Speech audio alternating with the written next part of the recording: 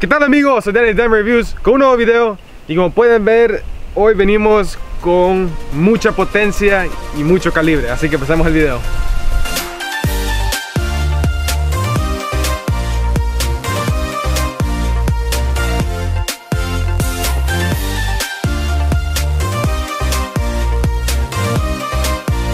Lo que tenemos aquí es el Texan SS Big Bore calibre 45 de Air Force y esto es algo de lo más potente que hay ahorita en la industria de armas de aire. Así que lo vamos a poner a prueba vamos a ver qué tan certero es y más que todo vamos a ver la velocidad.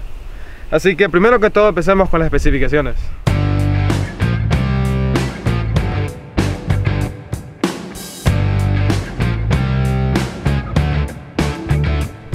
El Texan es uno de esas armas que son demasiado sencillas y el que tenemos aquí es calibre 45 y es de los más nuevos que han sacado ya que este tiene supresor este, comparado al el primero que ellos sacaron que no tenía y era demasiado fuerte el sonido.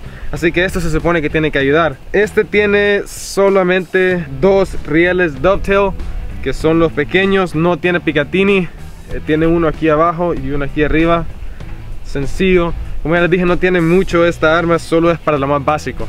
Ahora, ellos se enfocan, como ya saben, en el disparo. Así que este es calibre 45 y según la compañía dispara 400 libras de presión con el impacto.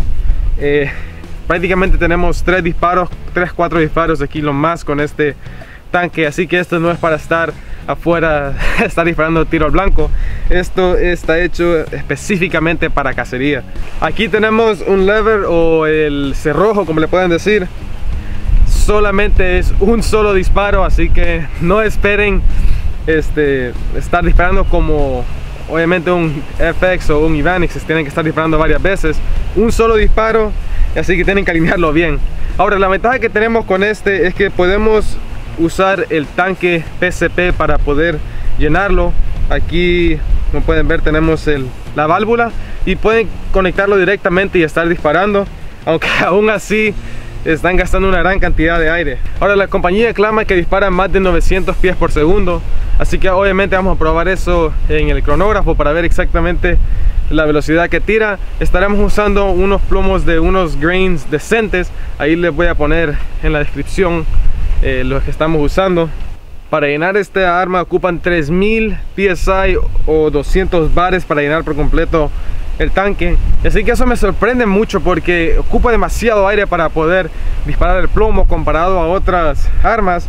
Y digamos el Brocock agarra 230 bares o el FX 250 y este simplemente 200 así que lo hay algo interesante pero considerando que solo son tres disparos no es nada malo. Ahora es tiempo de hablar del diseño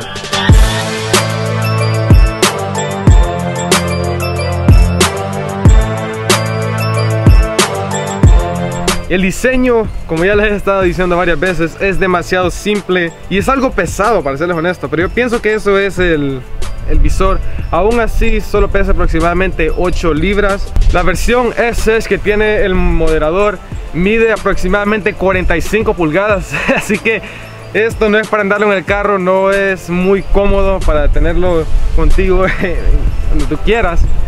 Eh, la versión original tiene aproximadamente 25 porque no tiene el supresor.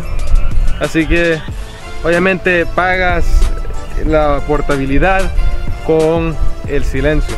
Aunque en realidad no creo que vaya a ser tan silencioso vamos a probar eso también. Aquí también tenemos un un agarre estilo AR junto con el gatillo. El gatillo también es ajustable en dos diferentes fases y una cosa que me gusta de esta arma es que cada vez que lo cargas también te pone el seguro automáticamente. El seguro muy sencillo no hay nada que en realidad te llame la atención de esta arma aparte del calibre. Aquí como pueden ver tenemos un calibre 45 y como están viendo en la pantalla aquí vamos a poner un calibre 30 al lado para que miren la gran diferencia entre estos calibres. Así que nada pequeño. Ya no se diga más y vamos a ir a probarlo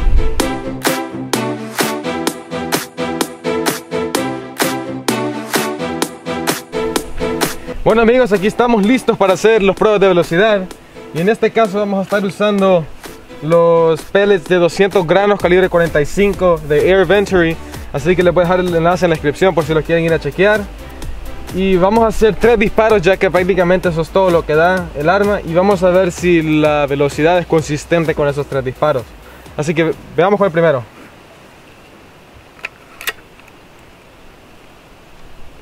A ver aquí.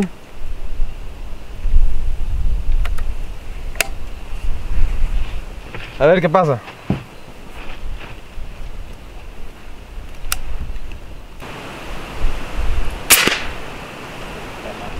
...834 pies por segundo... ...así que... ...no igual de cerca como... ...lo que decía... Eh, la compañía que eran más de 900 pies por segundo. Pero tienen que tomar en cuenta que ellos usan diferentes granos. Y una cosa que sí noté es que es algo algo fuerte el sonido duelen los oídos. Así que protección para los oídos no pienso que sea necesaria, pero sí, sí se va a escuchar por seguro. Vamos a ver el siguiente disparo.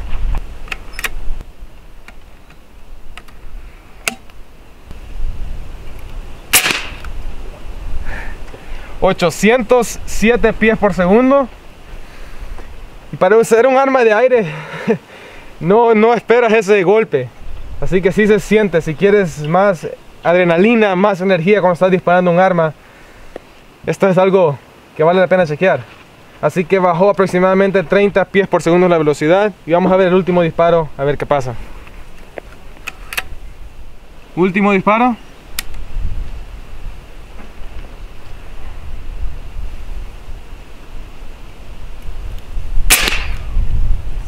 ...787 pies por segundo... Así que para hacer 400 libras de presión en impacto no es muy malo. Obviamente eso va a bajar. Pero según las pruebas que estamos viendo aquí, la cantidad de pies por segundo que baja es bastante considerable.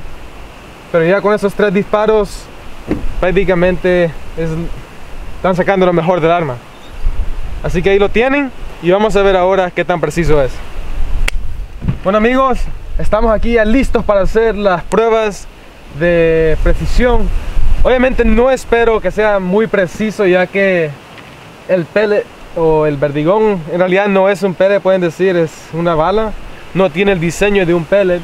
Así que ahorita vamos a estar usando los pellets de 200 grains. Son los más baratos, no son los mejores. Pero vamos a ver qué tal salen y empecemos.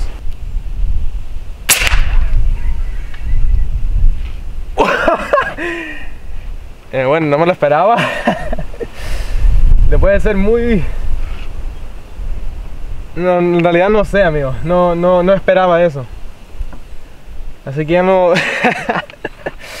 Ahí lo están viendo por ustedes mismos. Es increíble, amigo. Vamos a hacer otro disparo para ver qué tal. Aunque yo pienso que le pegué en el centro. Sí. El rebote de la piedra destruyó por completo el, el blanco. Vamos a hacer otros dos disparos a ver si lo podemos completamente destruir. También se me olvidó decirles que estamos aproximadamente 50 metros, así que es una distancia decente para esta arma. Siguiente disparo.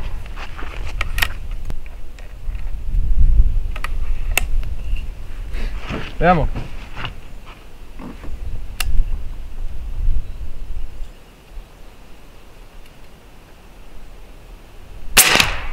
¡Wow! Increíble, amigo. En realidad te, te sube la adrenalina estar disparando una de estos. Vamos a ver el último disparo.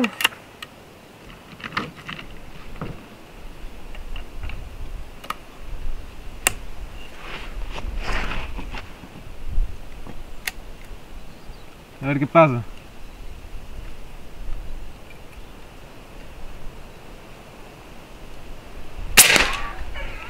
Bueno, ahí está, amigos.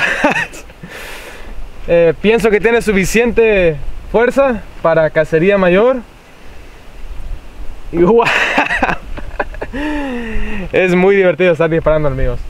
Eh, también tienen que tomar en cuenta que lo volví a rellenar todo este de aire. Así que esos tres disparos fue con toda la potencia. 200 granos. No queda el blanco. Así que terminemos el video. Aquí está lo que quedó amigos. nada prácticamente. Eh, estábamos disparando en el blanco como ya vieron en una piedra. Obviamente la piedra está con ángulo por seguridad. Pero lo que podemos notar aquí es que lo destruyó por prácticamente todas las partículas que se disparan cuando golpea el plomo en la piedra. Pero aún así, como ustedes ya vieron en la piedra, se mira cómo pegaron los, los plomos y en realidad está muy bien en precisión esta arma. Menos de una pulgada, 50 metros, no es nada, nada malo. Especialmente considerando que es para casa mayor. Y también estos no son los mejores pellets o verdigones que hay. Así que en precisión le doy un 10 de 10. Me impresionó, para serles honesto. En realidad es un arma muy divertida estar disparando y hay mucho que se puede mejorar, pero con lo que es estoy seguro que vale la pena. Si estás pensando en cazar, obviamente, eh, animales grandes, esto no es para aves, pero tampoco es algo que estarías usando todos los días, eso es por seguro. Así que es algo caro darle uso diario.